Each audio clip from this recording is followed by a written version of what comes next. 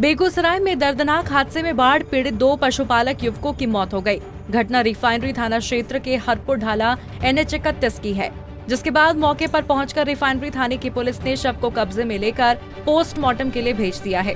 परिजनों का रो रो कर बुरा हाल है। घर ननकू मंडल टोला दीरा हुआ। आ, पानी आवे रहे दीरा में डूब गए कारण हम लोग दू महीना से भैंस के रोड बगल में रेलवे बगल में चरबै के लिए बहियार में रह रहिए आ बरसा से पानी से बहियार में पूरा पानी हो गए तो एन एच पर आ गए तो एन एच पर रात में दू तीन दिन से रहिए ई बरसा पड़ले बरसा में सुतल रहे दोनों बच्चा।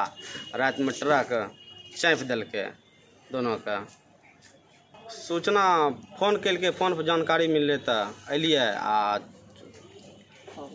आरो आदमी साथ में सुतल रहे लेटरिंग गेले उठ के देखलकै सब आदमी।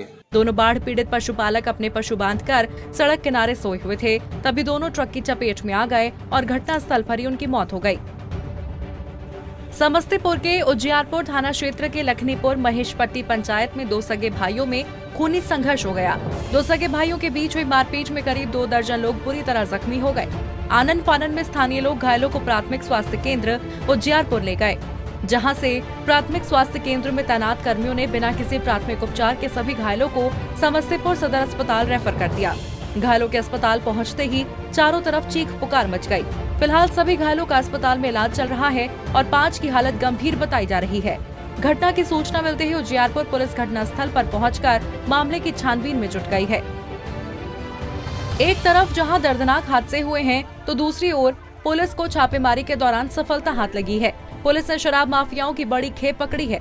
कदम कुआँ थाना और मद्य निषेध विभाग की टीम ने संयुक्त कार्रवाई करते हुए सात लाख चौसठ हज़ार रूपयों और दो बोतल शराब के साथ तस्करों को धर दबोचा है। दरअसल, पुलिस को गुप्त सूचना मिली थी कि कुछ तस्कर एक जगह इकट्ठा हुए हैं। तभी पुलिस ने कार्रवाई करते हुए इन लोगों को गिरफ़्तार कर लिया और उनके साथियों की तलाश में छापेमारी की जा रही है। Bureau report, Punjab Kesari TV.